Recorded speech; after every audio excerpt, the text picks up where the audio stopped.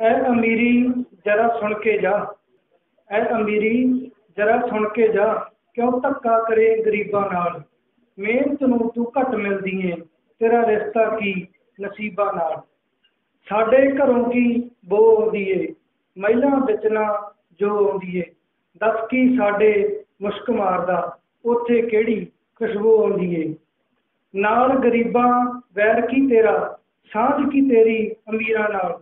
ਨਾਲ ਗਰੀਬਾਂ ਵੈਰ ਕੀ ਤੇਰਾ ਸਾਂਝ ਕੀ ਤੇਰੀ ਅਮੀਰਾਂ ਨਾਲ ਕੋਟੇ ਤਾਂ ਨਿੱਤ ਸਾਡੇ ਘਰ ਦੇ ਯਾਰੀ ਤੇਰੀ ਕਿਉਂ ਲਕੀਰਾਂ ਨਾਲ ਤੇਰੀ ਛਾਲਿਆਂ ਨਾਲ ਤਾਂ ਬਣਦੀ ਨਹੀਂ ਤੇਰੀ ਛਾਲਿਆਂ ਨਾਲ ਤਾਂ ਬਣਦੀ ਨਹੀਂ ਛੱਲਿਆਂ ਦਾ ਬੜਾ ਮੋਹ ਕਰਦੀ ਏ ਮੈਲਿਆਂ ਨਾਲ ਵੀ ਕਰਨਾ ਬਣਦਾ ਚਿੱਟਿਆਂ ਨਾਲ ਤੂੰ ਜੋ ਕਰਦੀ ਏ ਇੰਜ ਲੱਗਦਾ ਏ ਮਾਨ ਸਹਿਜੜੇ ਇੱਥੇ ਵੀ ਸਿਫਾਰਸ਼ ਚੱਲੇ ਜਿਹੜਾ ਬੰਦਾ ਠੱਗ ਚੋਰ ਹੈ ਉਹਦੀ ਹੀ ਬਸ ਬੱਲੇ ਬੱਲੇ ਥੈਂਕ ਯੂ